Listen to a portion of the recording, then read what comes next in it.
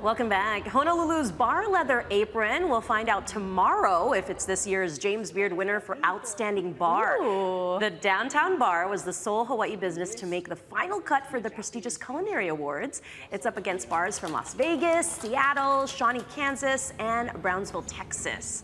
Now, the category recognizes consistent excellence in curating or preparing drinks, outstanding atmosphere, hospitality, and operations, and positive contribution to the broader community. Have you been there? Keeping our fingers crossed. No, I haven't, but it looks like we got to go and check it out. it's a cool place. Yeah.